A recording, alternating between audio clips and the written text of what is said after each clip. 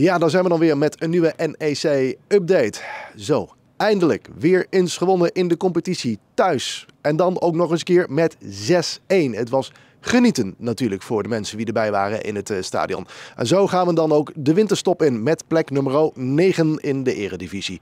En dan de technisch directeur. Ja, die zou eigenlijk zondag al gepresenteerd zijn, maar dat werd even uitgesteld en het is vandaag gebeurd. Carlos Albos is de nieuwe technisch directeur van NEC en wij spraken hem.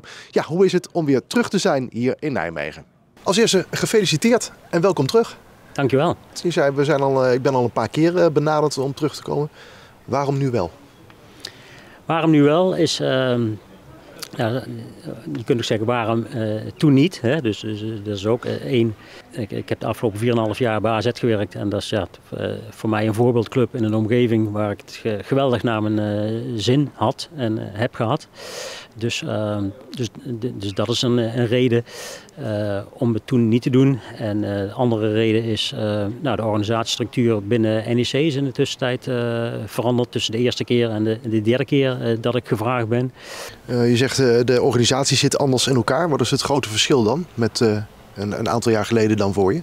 Nou, de organisatiestructuur en de governance zeg maar, binnen deze club is zeg maar, heel erg veranderd. En ik heb bij een club als AZ ook gezien dat het gewoon ja, heel erg belangrijk is binnen een organisatie. Dat je van daaruit zeg maar, structuur, visie en, en duidelijkheid hebt. Hè. Dan weet je ook met z'n allen welke kant je, je opgaat.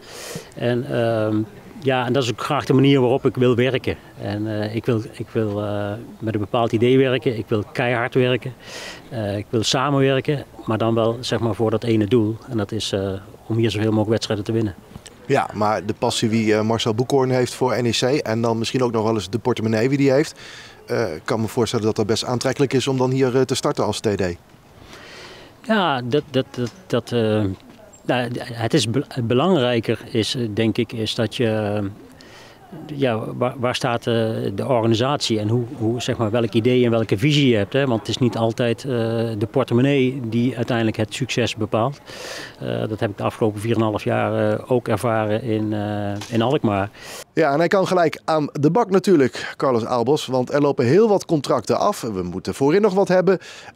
nou, Bart Verrooy contract loopt af. Ivan Marquez, ja, die wil je gewoon niet houden hier in Nijmegen natuurlijk. Dus daar wil je mee om de tafel zo snel mogelijk. Lasse Schöne loopt af. Dirk Proper loopt af.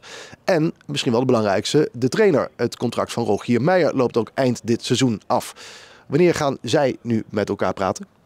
Nou, ik heb morgen een, uh, een, afspraak met Rogier, maar dat gaat meer over de evaluatie eerste seizoen zelf. Hè, en hoe kunnen we ons uh, verbeteren ten, uh, ten, opzichte van de rest van de, van de competitie. Dus dat gaat daarover. En betreffende zijn positie, ja, daar nemen we de tijd voor. Eén, hij heeft uh, natuurlijk een, een, basis staan dat hij uh, het tot op heden geweldig heeft gedaan binnen de club. Dus promotie gerealiseerd, nou, eerste jaar prima. Positie op dit moment prima positie. Dus chapeau daarvoor. Um, en van daaruit zeg maar, gaan we gezamenlijk kijken ja, hoe de toekomst eruit gaat zien. NEC is nog ongelukkig voorin. Er moet een, speler bij. Eigenlijk de vervanger van Okita is nooit gevonden. Uh, is dat uh, ook uh, hoog op jouw prioriteitenlijstje nu neergezet? Nou ja, dat, dat is denk ik, nou ja, dat hebben we allemaal kunnen constateren, een, een, linie, laat ik het zo zeggen, waar we ons willen, willen verbeteren. Niet alleen omdat we uiteindelijk maar vier echte aanvallers in de, in de selectie hebben. Uh, nou, aanvallend voetbal is niet alleen uh, scoren, maar dat hangt ook af van uh, ja, waar, op welk moment kun je waar pressing spelen. Er wordt heel veel intensiteit gevraagd. Dus ehm, daar gaan we naar kijken. En ja, we, we het allemaal eventjes ook al kunnen zien. nou, we zien graag daarin diepte. Dus nou, van daaruit komen we tot profielen. En dan gaan we kijken of we daar inderdaad de juiste namen bij kunnen vinden. Maar het moet wel een verbetering zijn. Ja, nou is uh, de winter niet altijd uh, de beste transferwindow. Hoe reëel moeten we eigenlijk zijn dat daar wel iets op gevonden wordt? Nou, dus daarom heb ik ook nu van begin af aan nu ook net aangegeven, het moet wel een verbetering zijn. Ja, nou heeft uh, NEC al een paar keer de doelstelling eigenlijk uh, voor lange termijn uitgesproken. Ja, je komt natuurlijk van een club waar NEC heel graag naartoe wilt om die positie te spelen, AZ. Ja, dat klopt. Dus, dus uh, nou ja, ten opzichte van mijn vorige periode Ehm, ja, heb ik wat, wat omzwervingen in het land gemaakt van Tilburg, Groningen naar uiteindelijk uh, AZ. En AZ is mijn voorbeeldclub. En ik heb er gewoon heel veel geleerd uh, de afgelopen 4,5 jaar.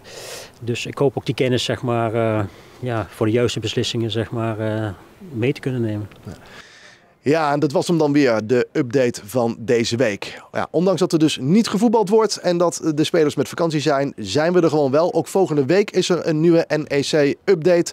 Tot die tijd blijf je op de hoogte natuurlijk via Instagram of via onze website rn7.nl. Graag tot de volgende keer.